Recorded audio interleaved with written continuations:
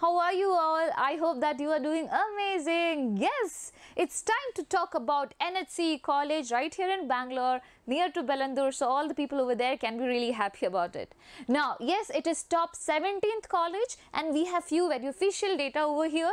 That is about the highest package. It was 32.5 for domestic, that is for Indian recruiters. And over here, average package was 6.5 LP again for domestic recruiters. Now, you might be thinking all of a sudden, why is ma'am talking about uh, domestic and international and everything like that? Because they have put up their data for them separately. So, we thought of putting that for you as well. So, you also get a clear cut idea of it.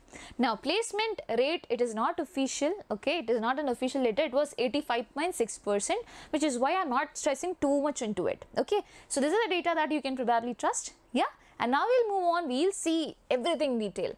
Now, overview of the college is the first thing. The name of the college is New Horizon College of Engineering with love NHCE. We go ahead, we talk about the year of, year of establishment 2001, location Bangalore, affiliation it is affiliated to Visvesvaraya Technological University, very good university, you can trust it. Talking about the placement record which is something very important. So, I have got so much data about this particular college and I was really glad about it. I'll tell you why. Okay. So, the highest CTC 32.5 LPA, they didn't mention the year, but uh, we are kind of sure that it is for 2024 itself because from other unofficial website also they were showing something similar. Okay. And uh, obviously the colleges they uh, they change their data like every year most probably for more amount of uh, admissions as well.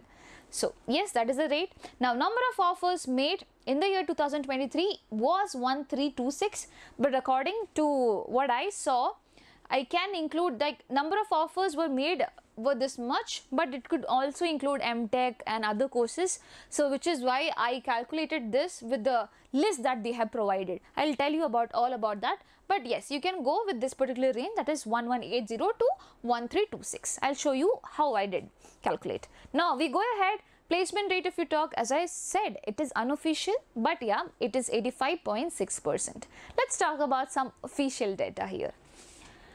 Now so I told you about a list, right? So there is one very good thing that I liked about the college, which is they provide a whole list of candidates that is with the names, which course they did and uh, were they getting placed and in which company they got placed. So all the data is there in their official website if you go to the placement tab.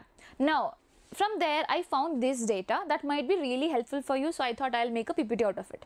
Now for CSE 382 offers were coming, one uh, ISE it is uh, 269, ECE 253, E triple E it is 99, MEC it is a mechanical engineer it is 102, AU it's not there now okay? For at least by the seat matrix that we found it was not there. It was automobile engineering. I didn't find the seat for this particular course so I didn't put it there.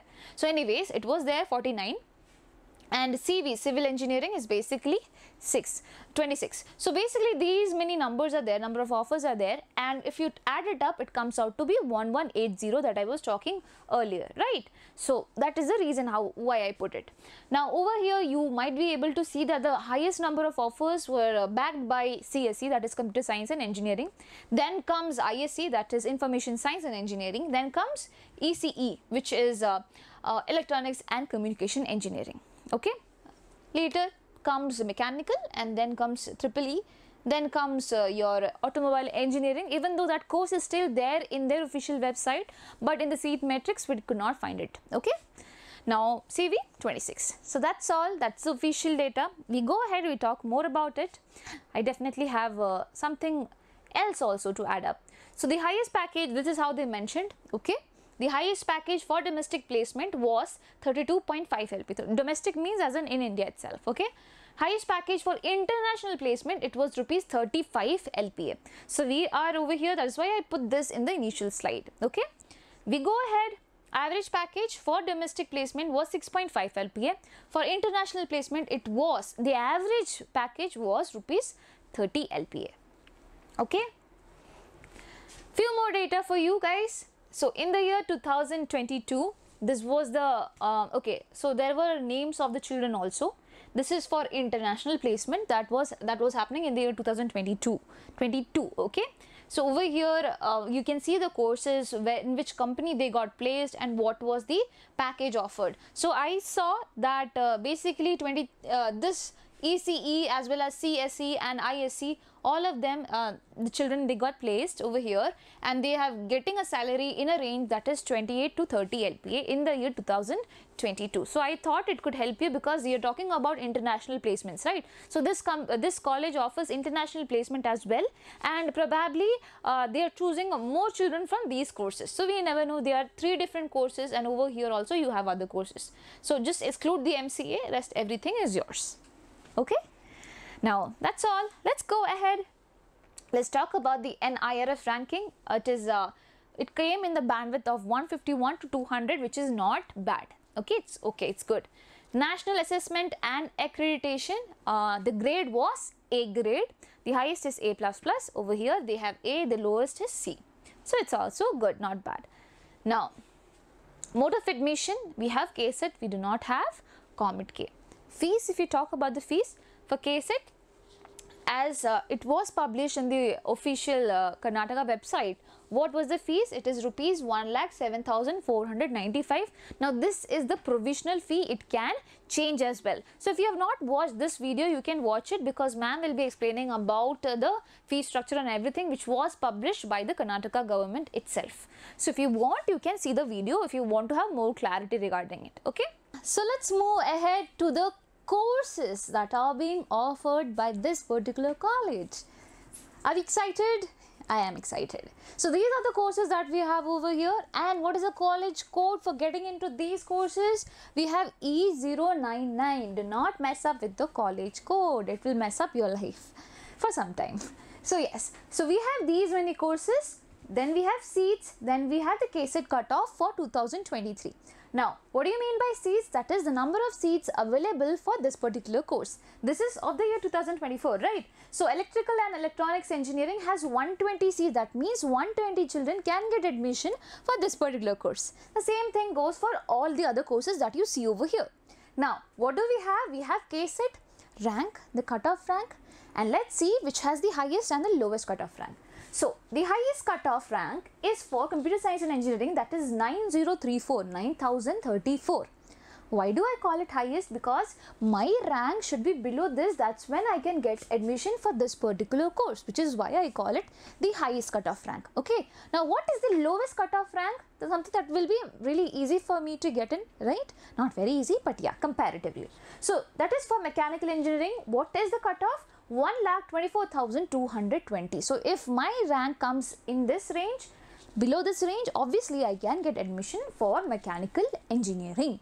So, that is the highest and this is the lowest cutoff.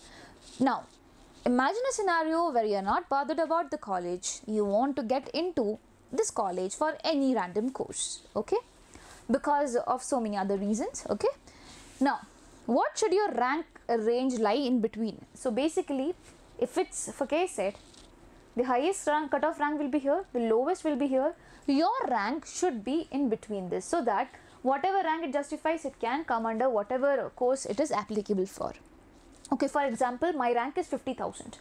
Then probably I can get admission for this one because here the highest cutoff value is what 55,877 and what's my rank 50,000 so I can get into this particular course so is this a general way that you should be finding out like how which course you should be choosing? No, you should have a clear cut idea of what course and what are you doing going to do with your life. Okay, very pre-planned should be. So have your order of preferences that you want from one particular college. You can have two preferences or three preferences for the courses that you want, but it should be something that is of use for you in the future.